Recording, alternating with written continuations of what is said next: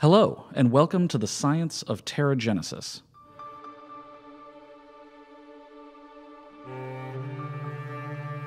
Episode 4 Atmospheric Pressure. Hey, folks, this is Alexander Winn, founder of Edgeworks Entertainment and creator of Terragenesis. I just wanted to start off today with a big thank you to all the people who have been listening and leaving reviews for the podcast.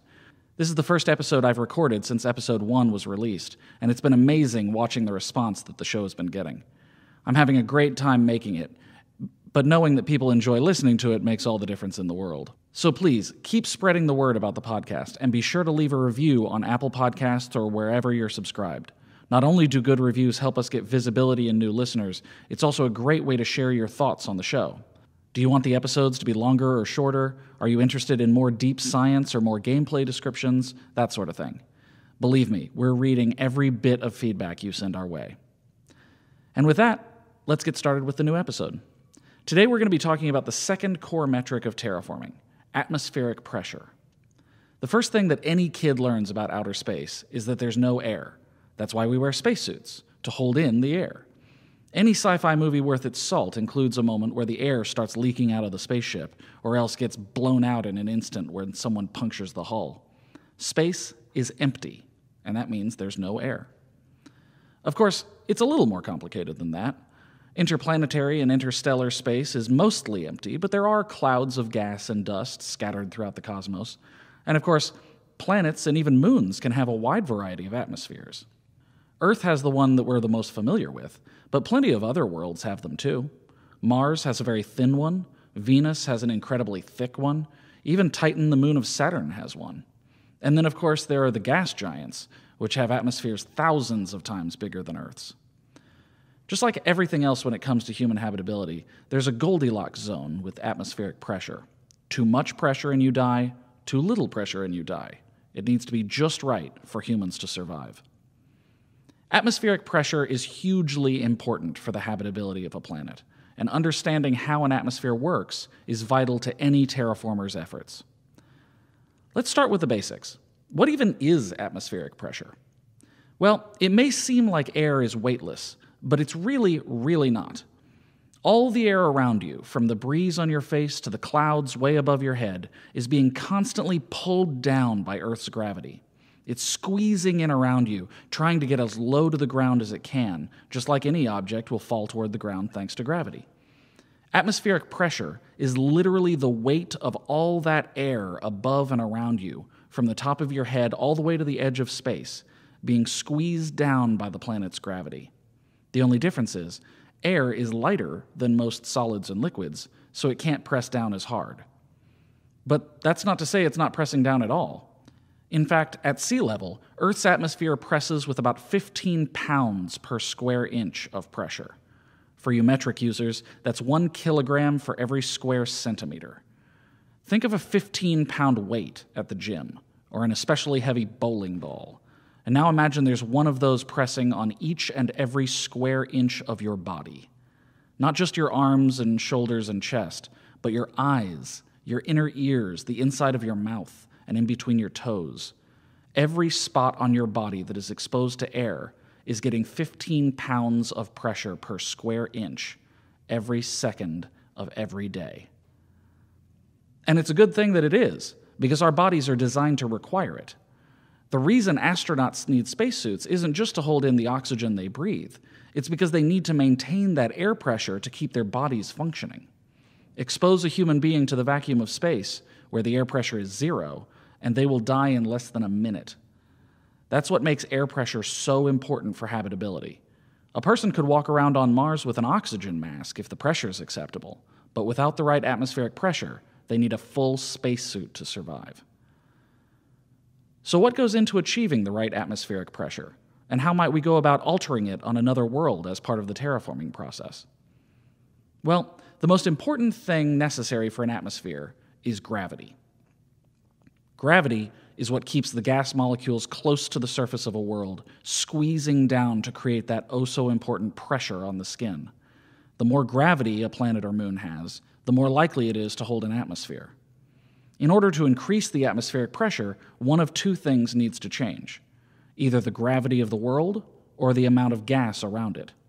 Since changing the gravity of a planet requires space magic, altering the amount of gas on the planet is our main focus in terraforming. The other thing to know is that atmospheric pressure is not a single consistent number around the world. It varies slightly due to temperature, weather patterns, and latitude, but it especially varies based on altitude. Go up a mountain, and you'll have less atmospheric pressure than you did by the beach. That's why it's harder to catch your breath at the top of a long hike. The air is literally thinner than you're used to. That's also why airplanes need to be pressurized, because they fly so high that the air isn't thick enough to breathe. Generally, when we talk about a planet's atmospheric pressure, we're using a planetary average at a given elevation. On Earth, that's usually sea level. Atmospheric pressure can be measured using different units of measurement. Oftentimes, people will use the cleverly named unit called atmospheres, in which the atmospheric pressure of Earth at sea level is one atmosphere. In your car's tires, it might be measured in psi or pounds per square inch, but in Terragenesis, we use the metric unit pascals, which in Earth's atmosphere is about 100,000 pascals of pressure. That unit is named after Blaise Pascal, a 17th century French scientist who was incapable of sitting for portraits without looking like you just walked in on him doing something shady. Look him up, you'll see what I mean. So, Earth's atmosphere has about 100,000 pascals of pressure. But how do the other planets and moons in our solar system measure up? Well, Mars has a wispy 600 pascals of pressure, or about half a percent of Earth's, so it's practically a vacuum. Meanwhile, Venus has a whopping 9 million pascals, which is thicker than seawater.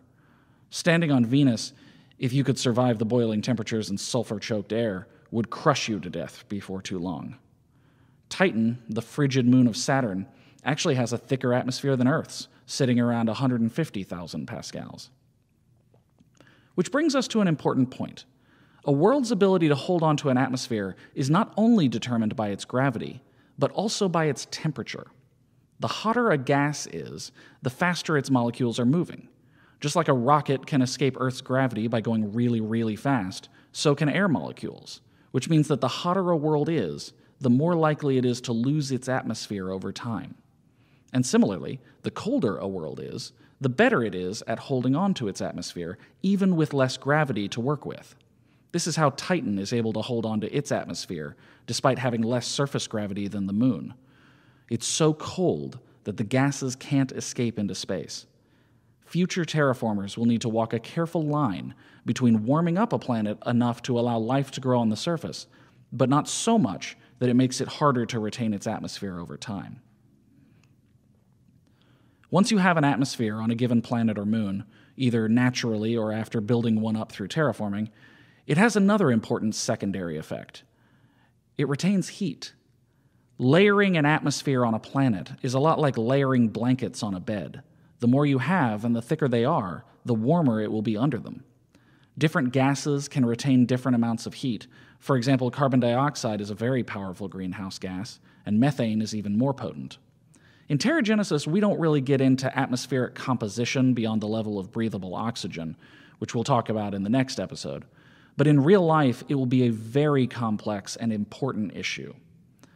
What we do get into Terragenesis is the atmospheric retention of heat, which we talked about last episode, and which can have a huge impact on the nature and habitability of a world. Another secondary effect of atmospheric pressure is its influence on water. As everyone knows, water boils at 100 degrees Celsius and freezes at 0 degrees Celsius. But this is actually only true at 100,000 pascals of air pressure, also known as sea level on Earth. The boiling and freezing points of water are determined by both temperature and pressure. Increase the atmospheric pressure, and both the boiling and freezing points of water will change. This is mentioned in Andy Weir's novel Artemis, in which no one can make a decent cup of coffee or tea on a lunar outpost because the atmospheric pressure is just 20,000 pascals, meaning that water boils at lukewarm temperatures. As a world is being terraformed, the final atmospheric pressure will have fascinating repercussions on things like the cuisine of the local culture, as it influences the boiling point of water. A planet with unusually high or low atmospheric pressure might be especially known for having good or terrible soups and hot drinks, regardless of what the local chefs try to produce. Finally, one other aspect of atmospheric pressure is worth mentioning, and that is the popular myth that terraforming Mars is impossible due to atmospheric loss from its lack of a magnetosphere. The idea is that solar radiation can strip away an atmosphere over time, ionizing gas molecules and heating them up until they can escape the gravity of the planet, unless that radiation is blocked by an active magnetic field like Earth's. Proponents of this idea argue that because Mars has no magnetic field, any terraforming efforts are doomed to fail because the atmosphere we add to Mars will just be stripped away again by the sun. This is a very common argument among people on the internet, and it's true that a planet's magnetosphere can shield it from a lot of the solar winds, and radiation can strip away an atmosphere over time. But the truth is that it's a lot more complex than that. I'll be doing a full episode on things like the magnetosphere issue later on in the series, but for now, the key factor is that Mars's atmosphere is actually pretty well protected from solar winds, according to a Swedish study using the Mars Express spacecraft in 2017. And even if the solar winds did impact Mars's terraformed atmosphere, it would be a process that happened over millions of years, rather than being any kind of obstacle to hominization. The process of adding or removing an atmosphere for a planet is a huge and complex one, likely the most challenging of all the major terraforming requirements. In Terragenesis, there are three technologies used to increase atmospheric pressure and three to decrease it. For a world like Mars, where the challenge is to increase the pressure, you'd likely start with a facility called thermal dust. This is exactly what it sounds like dark colored dust designed to absorb as much sunlight as possible and convert it into heat. Mars has huge polar caps of frozen carbon dioxide, also known as dry ice. By sprinkling this thermal dust onto the poles, we could begin to release the carbon dioxide and thicken the atmosphere. With luck, it would start a feedback loop, warming up the planet, which releases more carbon dioxide, which further warms up the planet, and so on. That would eventually release all the carbon dioxide stored at the poles, doing much of our work for us. This is also what Elon Musk is referring to when he talks about nuking Mars, rapidly releasing the CO2 stored in Mars's polar dry ice caps. Next up, we have a facility called the Atmogen Suite, which is an automated chemistry lab designed to produce atmospheric gases using basic ingredients. And finally, the Pocket Mine, which involves drilling down into the planet's crust to release gas pockets trapped within the rock. In its ultimate form, many people suggest shipping nitrogen and other gases from the atmospheres of other moons, for example, Titan, which has a nitrogen rich atmosphere that is far too cold for humans, though that would be a colossal undertaking. On the other side, a world like Venus would require huge efforts at atmospheric reduction. For this, we need a whole different set of facilities, starting with the sequestration plant. This is a facility designed for compressing and storing tanks of processed gases underground to get them out of the air, which isn't elegant or particularly scalable, but it's decent for a Tier 1 facility. The next on the list is the Biofixture Lab, which is sort of like the modern process of burning fossil fuels, but in reverse.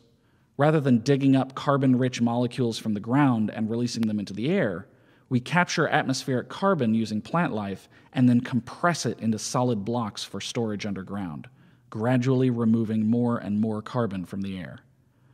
And finally, the hydrogen processor uses a real life chemistry process called the Bosch reaction to convert hydrogen and carbon dioxide into water and heat, allowing for both the reduction of atmosphere and the creation of surface water at the same time. Regardless of the processes involved, Manipulating an atmosphere of an entire planet will be the single largest effort humanity has ever undertaken. It will require unimagined technologies and likely centuries of effort, but the payoff will be greater than any other endeavor our species has ever attempted. An entire planet ready to be filled with as much life and personality and history as Earth.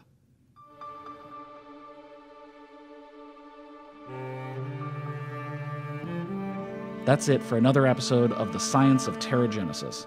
Next week, we'll be diving into the next major terraforming metric and the other major component of atmospheric engineering breathable oxygen.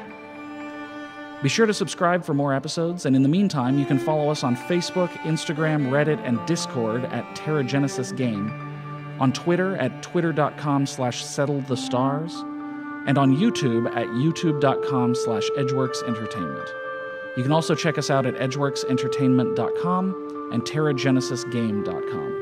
And don't forget to leave a review for the podcast. It really does help. And if you haven't played it yet, be sure to check out the indie terraforming game Terra Genesis, which is a free download on iOS, Android, and the Microsoft Store. Thanks for listening, folks. And as always, happy terraforming.